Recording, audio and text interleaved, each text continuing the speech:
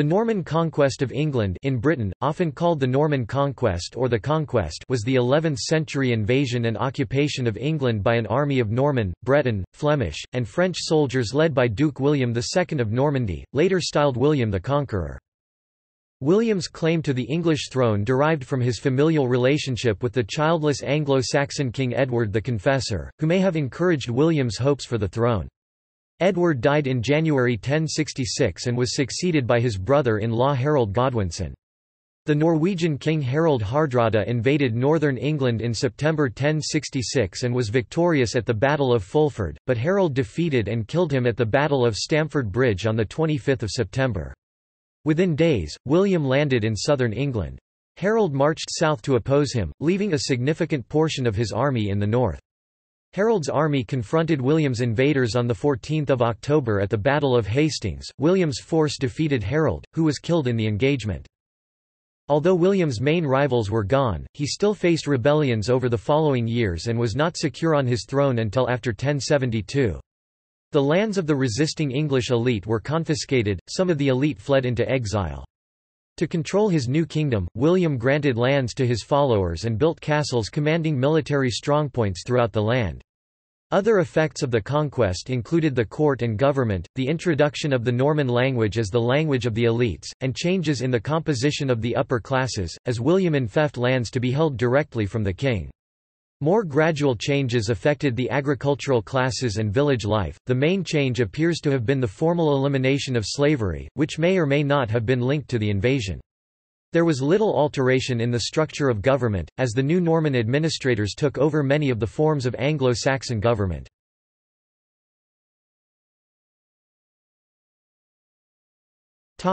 Origins In 911 the Carolingian French ruler Charles the Simple allowed a group of Vikings under their leader Rollo to settle in Normandy as part of the Treaty of St. Clair sur Epte. In exchange for the land, the Norsemen under Rollo were expected to provide protection along the coast against further Viking invaders. Their settlement proved successful, and the Vikings in the region became known as the Northmen, from which Normandy and Normans are derived. The Normans quickly adopted the indigenous culture as they became assimilated by the French, renouncing paganism and converting to Christianity. They adopted the langue d'oil of their new home and added features from their own Norse language, transforming it into the Norman language. They intermarried with the local population and used the territory granted to them as a base to extend the frontiers of the duchy westward, annexing territory including the Bessin, the Cotentin Peninsula and Avranches. In 1002 English King Aethelred the Unready married Emma of Normandy, the sister of Richard II, Duke of Normandy. Their son Edward the Confessor, who spent many years in exile in Normandy, succeeded to the English throne in 1042. This led to the establishment of a powerful Norman interest in English politics, as Edward drew heavily on his former hosts for support, bringing in Norman courtiers, soldiers, and clerics and appointing them to positions of power, particularly in the Church. Childless and embroiled in conflict with the formidable Godwin, Earl of Wessex and his sons, Edward may also have encouraged Duke William of Normandy's ambitions for the English throne. When King Edward died at the beginning of 1066, the lack of a clear heir led to a disputed succession in which several contenders laid claim to the throne of England. Edward's immediate successor was the Earl of Wessex, Harold Godwinson, the richest and most powerful of the English aristocrats. Harold was elected king by the Witenagemot of England and crowned by the Archbishop of York, Ealdred, although Norman propaganda claimed the ceremony was performed by Stigand, the uncanonically elected Archbishop of Canterbury. Harold was immediately challenged by two powerful neighbouring rulers. Duke William claimed that he had been promised the throne by King Edward and that Harold had sworn agreement to this. King Harold III of Norway, commonly known as Harald Hardrada, also contested the succession. His claim to the throne was based on an agreement between his predecessor, Magnus the Good, and the earlier English king, Harthacnut, whereby if either died without heir, the other would inherit both England and Norway.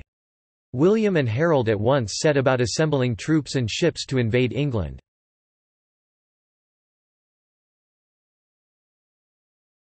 Tostig's raids and the Norwegian invasion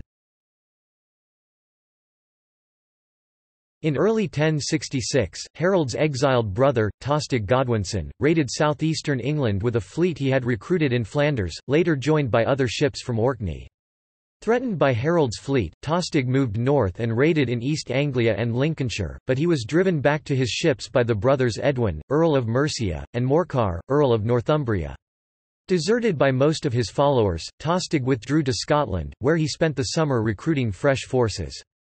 King Harold spent the summer on the south coast with a large army and fleet waiting for William to invade, but the bulk of his forces were militia who needed to harvest their crops, so on 8 September Harold dismissed them. King Harald Hardrada invaded northern England in early September, leading a fleet of more than 300 ships carrying perhaps 15,000 men. Harold's army was further augmented by the forces of Tostig, who threw his support behind the Norwegian king's bid for the throne.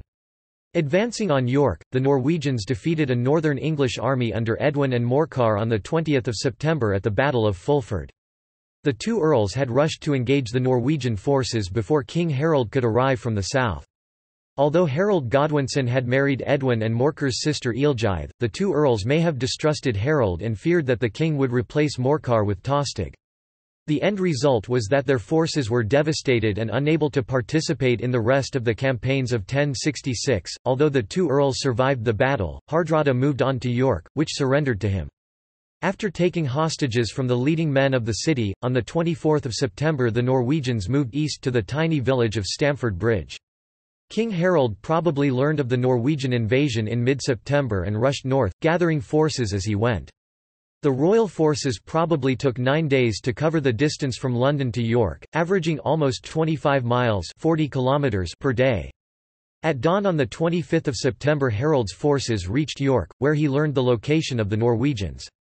The English then marched on the invaders and took them by surprise, defeating them in the Battle of Stamford Bridge.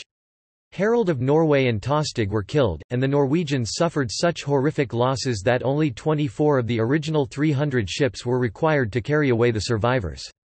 The English victory was costly, however, as Harold's army was left in a battered and weakened state, and far from the English Channel.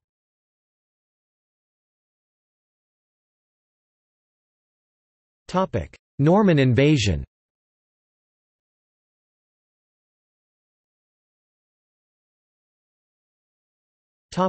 Norman preparations and forces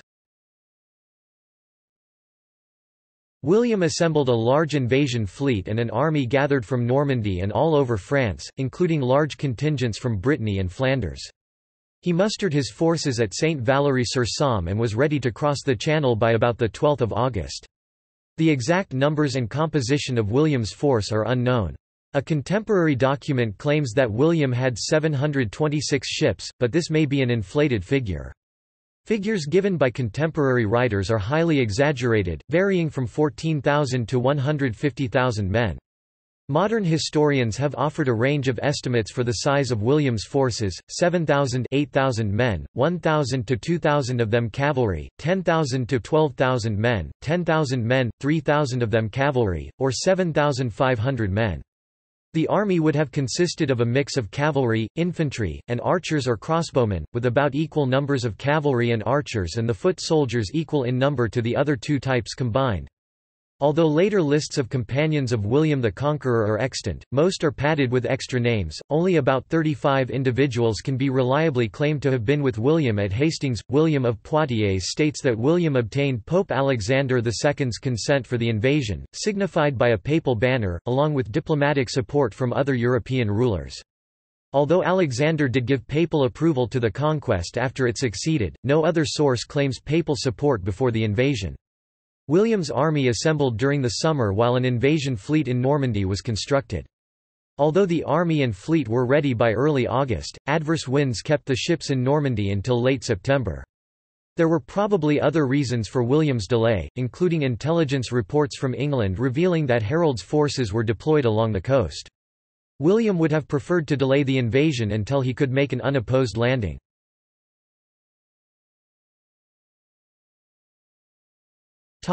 Landing and Harold's march south. The Normans crossed to England a few days after Harold's victory over the Norwegians at Stamford Bridge on 25 September, following the dispersal of Harold's naval force. They landed at Pevensey in Sussex on 28 September and erected a wooden castle at Hastings, from which they raided the surrounding area. This ensured supplies for the army, and as Harold and his family held many of the lands in the area, it weakened William's opponent and made him more likely to attack to put an end to the raiding. Harold, after defeating his brother Tostig and Harald Hardrada in the north, left much of his force there, including Morcar and Edwin, and marched the rest of his army south to deal with the threatened Norman invasion. It is unclear when Harold learned of William's landing, but it was probably while he was travelling south. Harold stopped in London for about a week before reaching Hastings, so it is likely that he took a second week to march south, averaging about 27 miles 43 kilometers per day, for the nearly 200 miles 320 kilometers to London. Although Harold attempted to surprise the Normans, William's scouts reported the English arrival to the Duke. The exact events preceding the battle remain obscure, with contradictory accounts in the sources, but all agree that William led his army from his castle and advanced towards the enemy. Harold had taken up a defensive position at the top of Senlac Hill present-day Battle, East Sussex, about 6 miles 10 kilometers from William's castle at Hastings. Contemporary sources do not give reliable data on the size and composition of Harold's army, although two Norman sources give figures of 1.2 million or 400,000 men. Recent historians have suggested figures of between 5,000 and 13,000 for Harold's army at Hastings, but most agree on a range of between 7,000 and 8,000 English troops. These men would have comprised a mix of the fyrd militia mainly composed of foot soldiers and the housecarls, or noblemen's personal troops, who usually also fought on foot. The main difference between the two types was in their armour, the housecarls used better protecting armour than that of the fyrd. The English army does not appear to have had many archers, although some were present. The identities of few of the Englishmen at Hastings are known, the most important were Harold's brothers Gurth and Leofwine. About 18 other named individuals can reasonably be assumed to have fought with Harold at Hastings, including two other relatives.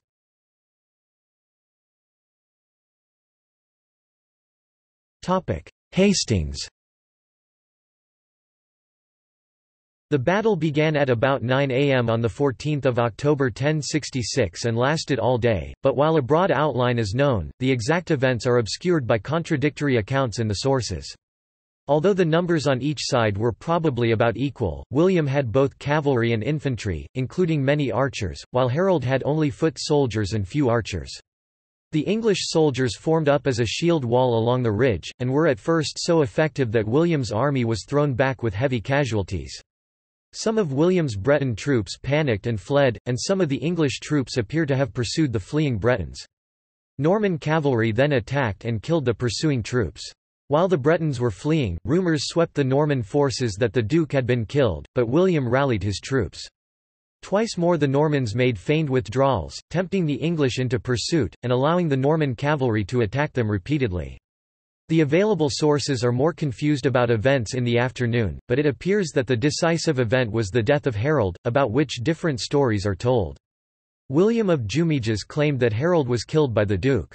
The Bayeux tapestry has been claimed to show Harold's death by an arrow to the eye, but this may be a later reworking of the tapestry to conform to 12th-century stories that Harold had died from an arrow wound to the head. Other sources stated that no one knew how Harold died because the press of battle was so tight around the king that the soldiers could not see who struck the fatal blow. William of Poitiers gives no details at all about Harold's death.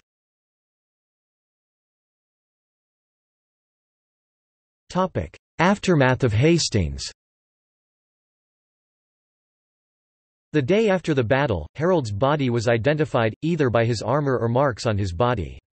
The bodies of the English dead, who included some of Harold's brothers and his housecarls, were left on the battlefield, although some were removed by relatives later. Githa, Harold's mother, offered the victorious duke the weight of her son's body in gold for its custody, but her offer was refused. William ordered that Harold's body be thrown into the sea, but whether that took place is unclear. Another story relates that Harold was buried at the top of a cliff. Waltham Abbey, which had been founded by Harold, later claimed that his body had been buried there secretly. Later legends claimed that Harold did not die at Hastings, but escaped and became a hermit at Chester. After his victory at Hastings, William expected to receive the submission of the surviving English leaders, but instead Edgar the Atheling was proclaimed king by the Witenagemot, with the support of Earls Edwin and Morcar, Stigand, the Archbishop of Canterbury, and Ealdred, the Archbishop of York. William therefore advanced, marching around the coast of Kent to London. He defeated an English force that attacked him at Southwark, but being unable to storm London Bridge he sought to reach the capital by a more circuitous route. William moved up the Thames Valley to cross the river at Wallingford, Berkshire, while there he received the submission of Stigand. He then travelled northeast along the Chilterns, before advancing towards London from the northwest, fighting further engagements against forces from the city. Having failed to muster an effective military response, Edgar's leading supporters lost their nerve, and the English leaders surrendered to William at Berkhamsted, Hertfordshire. William was acclaimed King of England and crowned by Ealdred on 25 December 1066, in Westminster Abbey. The new king attempted to conciliate the remaining English nobility by confirming Morcar, Edwin and Waltheof, the Earl of Northumbria, in their lands as well as giving some land to Edgar the Atheling. William remained in England until March 1067, when he returned to Normandy with English prisoners, including Stigand, Morcar, Edwin, Edgar the Atheling, and Waltheof.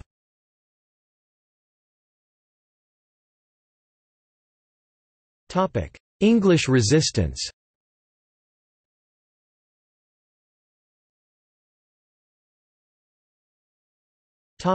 First rebellions Despite the submission of the English nobles, resistance continued for several years. William left control of England in the hands of his half-brother Odo and one of his closest supporters, William fitzOsbern. In 1067 rebels in Kent launched an unsuccessful attack on Dover Castle in combination with Eustace II of Boulogne. The Shropshire landowner Edric the Wild, in alliance with the Welsh rulers of Gwynedd and Powys, raised a revolt in western Mercia, fighting Norman forces based in Hereford. These events forced William to return to England at the end of 1067. In 1068 William besieged rebels in Exeter, including Harold's mother Githa, and after suffering heavy losses managed to negotiate the town's surrender. In May, William's wife Matilda was crowned queen at Westminster, an important symbol of William's growing international stature.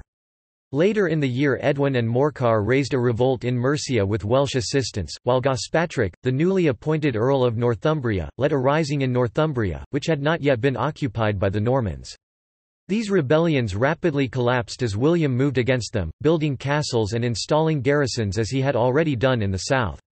Edwin and Morcar again submitted, while Gospatric fled to Scotland, as did Edgar the Atheling and his family, who may have been involved in these revolts. Meanwhile, Harold's sons, who had taken refuge in Ireland, raided Somerset, Devon and Cornwall from the sea.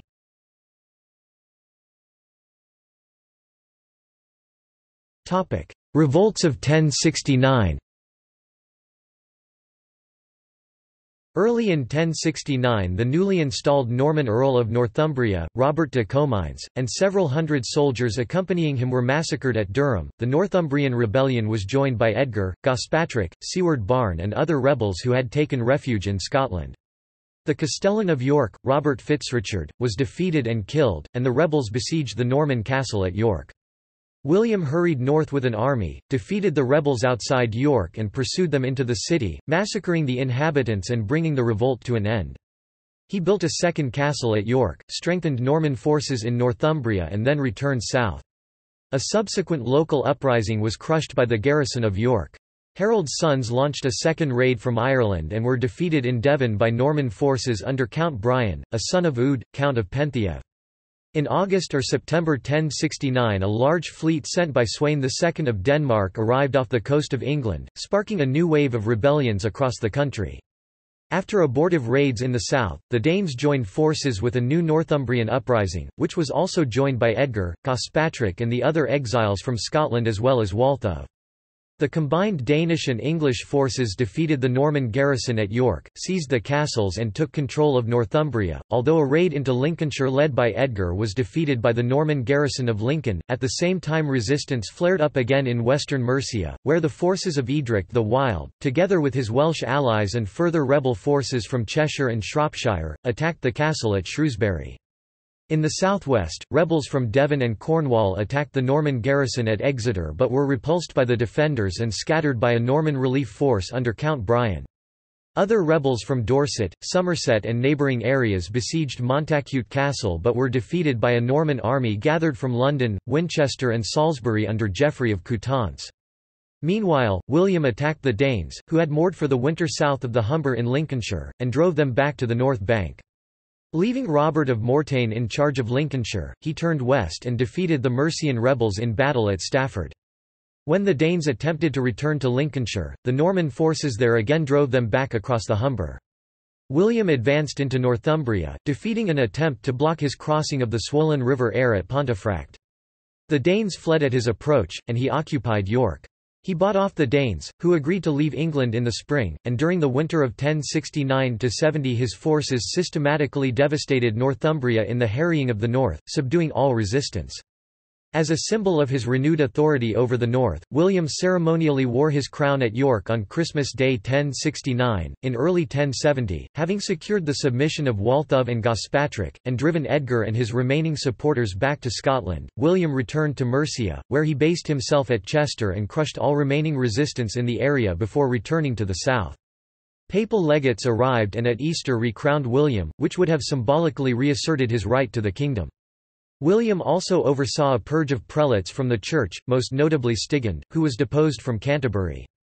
The papal legates also imposed penances on William and those of his supporters who had taken part in Hastings and the subsequent campaigns. As well as Canterbury, the See of York had become vacant following the death of Ealdred in September 1069. Both sees were filled by men loyal to William. Lanfranc, abbot of William's foundation at Caen, received Canterbury while Thomas of Bayeux, one of William's chaplains, was installed at York. Some other bishoprics and abbeys also received new bishops and abbots and William confiscated some of the wealth of the English monasteries, which had served as repositories for the assets of the native nobles.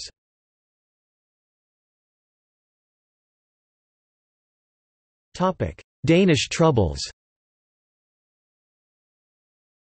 In 1070 Sweyn II of Denmark arrived to take personal command of his fleet and renounced the earlier agreement to withdraw, sending troops into the fens to join forces with English rebels led by Hereward the Wake, at that time based on the Isle of Ely. Sweyn soon accepted a further payment of Danegeld from William, and returned home. After the departure of the Danes the Fenland rebels remained at large, protected by the marshes, and early in 1071 there was a final outbreak of rebel activity in the area.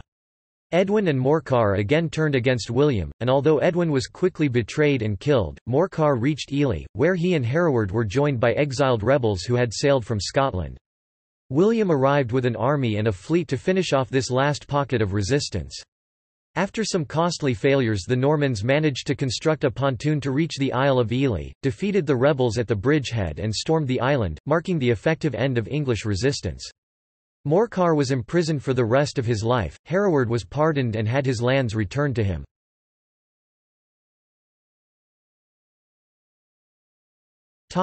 Last resistance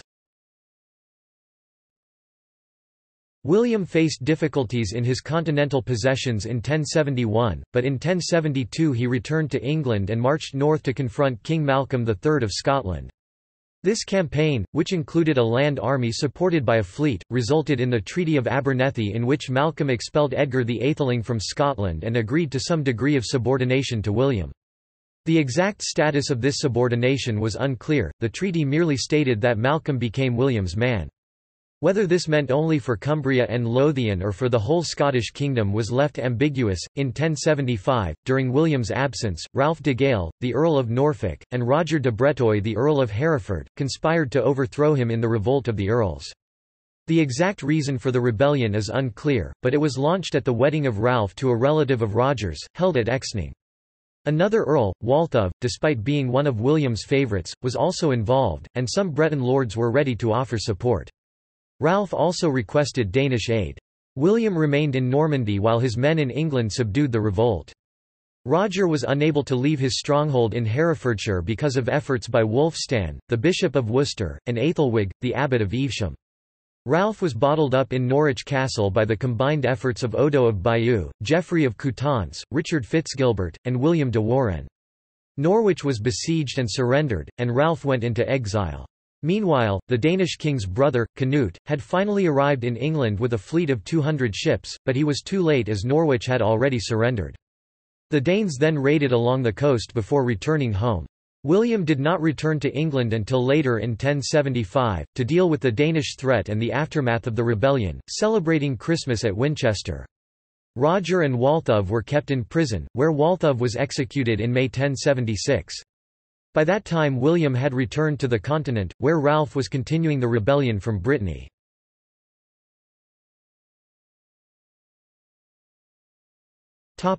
Control of England Once England had been conquered, the Normans faced many challenges in maintaining control. They were few in number compared to the native English population, including those from other parts of France. Historians estimate the number of Norman landholders at around 8,000. William's followers expected and received lands and titles in return for their service in the invasion, but William claimed ultimate possession of the land in England over which his armies had given him de facto control, and asserted the right to dispose of it as he saw fit. Henceforth, all land was held directly from the king in feudal tenure in return for military service. A Norman lord typically had properties located in a piecemeal fashion throughout England and Normandy, and not in a single geographic block. To find the lands to compensate his Norman followers, William initially confiscated the estates of all the English lords who had fought and died with Harold and redistributed part of their lands. These confiscations led to revolts, which resulted in more confiscations, a cycle that continued for five years after the Battle of Hastings. To put down and prevent further rebellions the Normans constructed castles and fortifications in unprecedented numbers, initially mostly on the Motte and Bailey pattern. Historian Robert Liddiard remarks that, "...to glance at the urban landscape of Norwich, Durham or Lincoln is to be forcibly reminded of the impact of the Norman invasion." William and his barons also exercised tighter control over inheritance of property by widows and daughters, often forcing marriages to Normans. A measure of William's success in taking control is that, from 1072 until the Capetian conquest of Normandy in 1204, William and his successors were largely absentee rulers. For example, after 1072, William spent more than 75% of his time in France rather than England. While he needed to be personally present in Normandy to defend the realm from foreign invasion and put down internal revolts, he set up royal administrative structures that enabled him to rule England from a distance.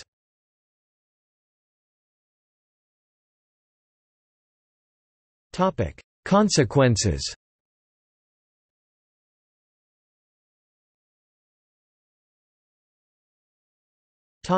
Elite replacement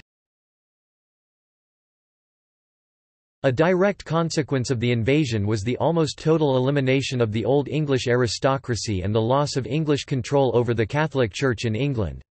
William systematically dispossessed English landowners and conferred their property on his continental followers. The Domesday Book meticulously documents the impact of this colossal program of expropriation, revealing that by 1086 only about 5% of land in England south of the Tees was left in English hands. Even this tiny residue was further diminished in the decades that followed, the elimination of native landholding being most complete in southern parts of the country. Natives were also removed from high governmental and ecclesiastical office. After 1075 all earldoms were held by Normans, and Englishmen were only occasionally appointed as sheriffs. Likewise in the Church, senior English office holders were either expelled from their positions or kept in place for their lifetimes and replaced by foreigners when they died. By 1096 no bishopric was held by any Englishman, and English abbots became uncommon, especially in the larger monasteries.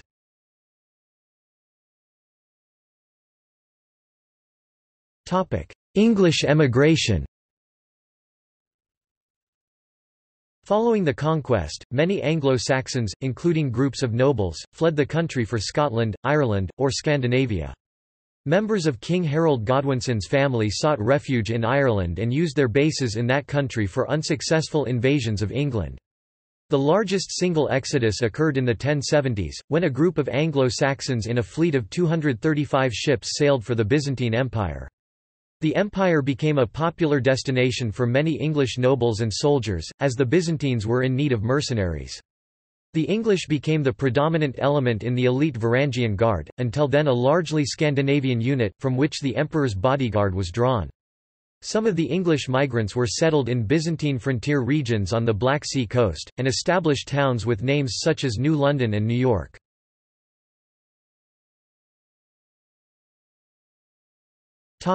Governmental systems Before the Normans arrived, Anglo-Saxon governmental systems were more sophisticated than their counterparts in Normandy. All of England was divided into administrative units called shires, with subdivisions. The royal court was the centre of government, and a justice system based on local and regional tribunals existed to secure the rights of free men. Shires were run by officials known as shire reeves or sheriffs. Most medieval governments were always on the move, holding court wherever the weather and food or other matters were best at the moment. England had a permanent treasury at Winchester before William's conquest. One major reason for the strength of the English monarchy was the wealth of the kingdom, built on the English system of taxation that included a land tax, or the geld. English coinage was also superior to most of the other currency in use in northwestern Europe, and the ability to mint coins was a royal monopoly. The English kings had also developed the system of issuing writs to their officials, in addition to the normal medieval practice of issuing charters. Writs were either instructions to an official or group of officials, or notifications of royal actions such as appointments to office or a grant of some sort. This sophisticated medieval form of government was handed over to the Normans and was the foundation of further developments. They kept the framework of government but made changes in the personnel, although at first the new king attempted to keep some natives in office. By the end of William's reign most of the officials of government and the royal household were Normans. The language of official documents also changed, from Old English to Latin. The forest laws were introduced, leading to the setting aside of large sections of England as royal forest. The Domesday Survey was an administrative catalogue of the landholdings of the kingdom, and was unique to medieval Europe. It was divided into sections based on the shires, and listed all the landholdings of each tenant-in-chief of the king as well as who had held the land before the conquest.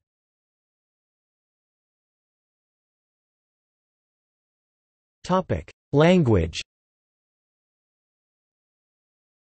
One of the most obvious effects of the conquest was the introduction of Anglo-Norman, a Northern Old Norse-influenced dialect of Old French, as the language of the ruling classes in England, displacing Old English. Norman French words entered the English language, and a further sign of the shift was the usage of names common in France instead of Anglo-Saxon names. Male names such as William, Robert and Richard soon became common, female names changed more slowly. The Norman invasion had little impact on place names, which had changed significantly after earlier Scandinavian invasions.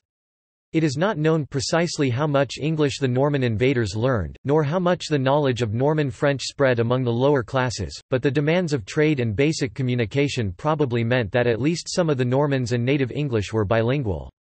Nevertheless, William the Conqueror never developed a working knowledge of English and for centuries afterwards English was not well understood by the nobility.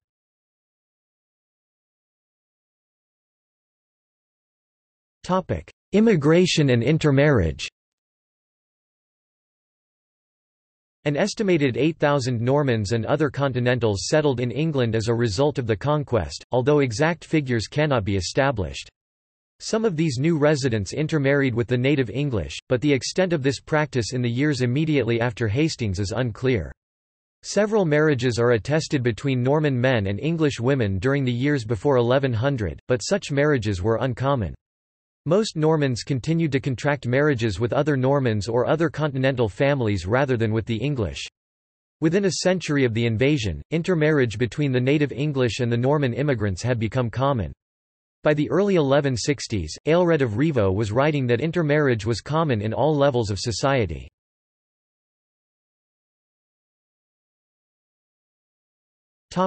Society The impact of the conquest on the lower levels of English society is difficult to assess. The major change was the elimination of slavery in England, which had disappeared by the middle of the 12th century.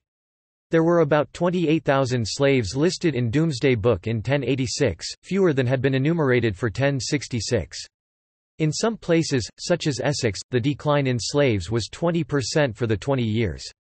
The main reasons for the decline in slaveholding appear to have been the disapproval of the church and the cost of supporting slaves, who unlike serfs, had to be maintained entirely by their owners. The practice of slavery was not outlawed, and the Leges Henrici Primi from the reign of King Henry I continue to mention slaveholding as legal. Many of the free peasants of Anglo Saxon society appear to have lost status and become indistinguishable from the non free serfs. Whether this change was due entirely to the conquest is unclear, but the invasion and its after-effects probably accelerated a process already underway. The spread of towns and increase in nucleated settlements in the countryside, rather than scattered farms, was probably accelerated by the coming of the Normans to England. The lifestyle of the peasantry probably did not greatly change in the decades after 1066. Although earlier historians argued that women became less free and lost rights with the conquest, current scholarship has mostly rejected this view. Little is known about women other than those in the landholding class, so no conclusions can be drawn about peasant women's status after 1066. Noblewomen appear to have continued to influence political life mainly through their kinship relationships. Both before and after 1066 aristocratic women could own land, and some women continued to have the ability to dispose of their property as they wished.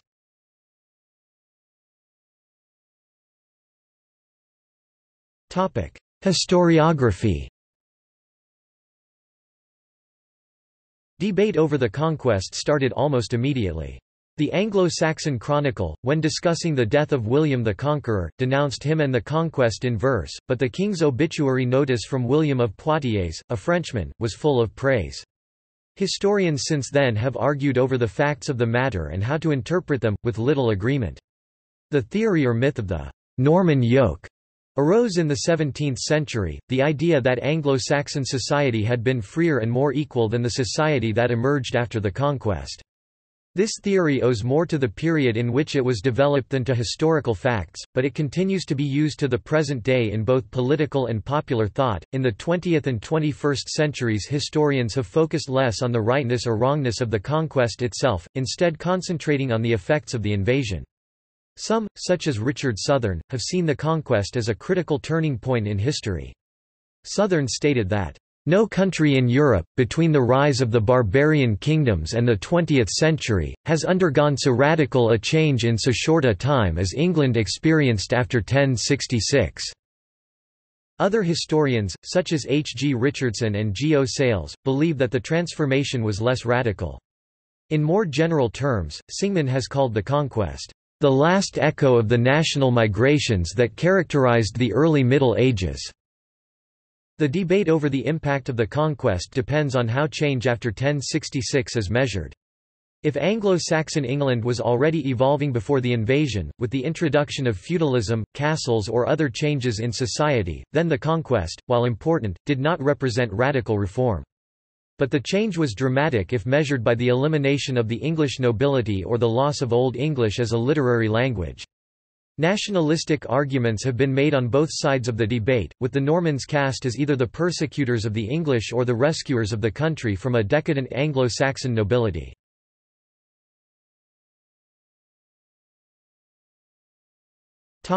Notes